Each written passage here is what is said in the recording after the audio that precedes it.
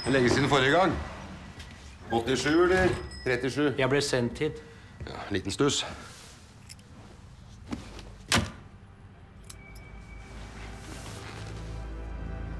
Oi sann. Skal ikke du bli far? Han der, der syns jeg ikke du skal leke med. Nei. Han er sånn som bare leker voksenleker. Han har nok en sandkasse, han også, skal du se. Og i den sitter kanskje søsknene Brink Monsen med hver sin plastbade. Du får ikke noe på han jeg har prøvd. Ja, nå er det fint. Nå, nå er det fint. Det er veldig fint. Det er så fint. Jeg er fornøyd. Er du fornøyd med ørene også? Jeg er veldig fornøyd med ørene. Få se på disse her. Kjell Malthus. Helt sjeldent usympatisk. Drapsavdelingen måtte slippe den. Altså, jeg, jeg måtte slippe den.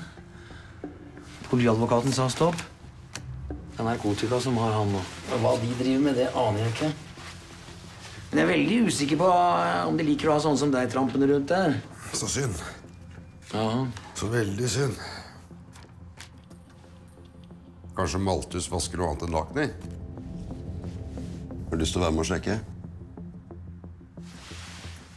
Har du noe håndfast på det, VM? Har du noe bevis? Har du noe fingeravtrykk? Har du noe som helst? Jeg har min uh, intuisjon. Hva skal jeg si nå? Det er ingenting å si. Nei.